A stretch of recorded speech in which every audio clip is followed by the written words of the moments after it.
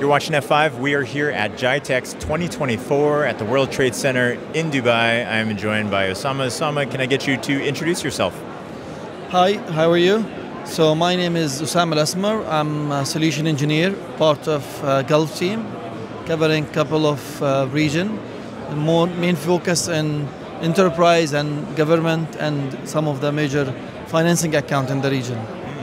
You have a pretty diverse region, actually, a few different uh, countries that you cover, um, and a couple different verticals as well. And with all of that, we were just talking before, one of the main things that you're seeing come up over and over again is still API protection. Maybe we can get into that a bit? Yeah, so true. So today, as, as you might know, the digital transformation is taking a huge place in most of the organization. And part of this digital transformation and what we hear today from AI perspective, the application has been developed where API start mean, being a major part of the application from a customer point of view. What we used before a long time, it was mainly API within the environment, which was not exposed over public. So this is why it was less to have thought about security. Mm. But today as part of the application, API is exposed to the internet and can be providing a very critical information. And the main challenge we see it from the customer that he's not aware exactly what APIs he has, what information we provide, because you, we, this layer usually is managed by the DevOps team. Taking it back to the application, now security teams start being concerned about what those data is being exposed. I need to know what the data, how I can understand it, and how I can secure it. And this is one of the main topic in most of our discussion and, and um, uh, meetings we do with our customer from all the sectors, government, banking, all of them they are having this portion of API which they want to secure. Before we secure it, we have to know it. Because what we don't know, we cannot secure. That is very important. This is where we do it in F5 and one of our solution, if, which is F5 Distributed Cloud, which provide the security layer, So sorry, provide the discovery layer part, which give you all understanding of your st API stack, then we help you to, to secure it. Hmm. So in security, we have to be more proactive, right? So that way we put you to be more proactive and try to mitigate and secure your APIs, even without seeing any attack. Hmm. How we can minimize the risk, how we can minimize the footprint of the API on the internet. Mm. So this is most of our discussion nowadays with the customer. This is start to being one of the top discussion with the customer and with CISOs in, in organizations. Would you say that, uh, you know, I'm, I'm assuming that you probably have a background in web app security as well. Would you say the current state that we're in with API security is more mature or less mature than we've been with web apps?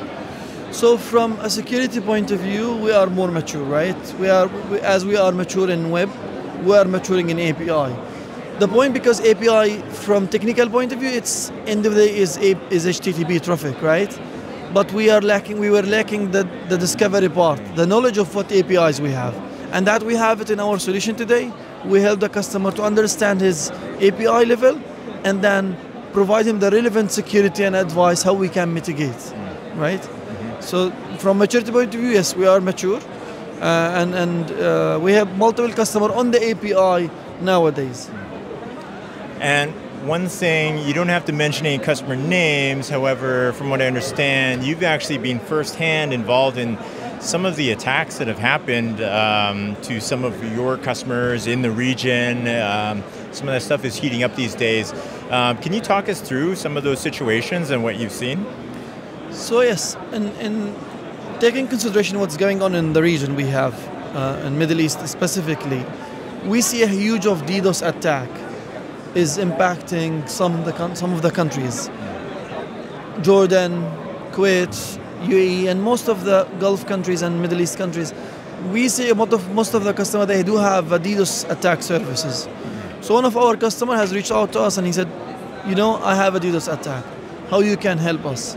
And with all the support we have from backend team, we able to onboard him to our distributed cloud, mm. where, where, where we be able to provide him a full stack of DDoS protection, all the way from layer 3 to layer 7. Mm. So what we have done for that customer, we have onboarded him in within short notice with the support of all the back-end team. And then we start helping him not only in DDoS, because his aim was a DDoS, but as a platform, we have a full security stack when it comes to application and API. So DDoS was the main driving for this requirement. However, we show him how much we do when it comes to API security, how much we do when it comes to WAF. And then we show him all the layer 7 part, and he was like impressed that, okay, I can get one service, can provide me all these functionality, all the way from DDoS, from WAF, from API security, and so on. So this is how we have drive it with them, and we have successfully uh, helped him to mitigate that attack, and then we are moving in, in, in process with them to move forward.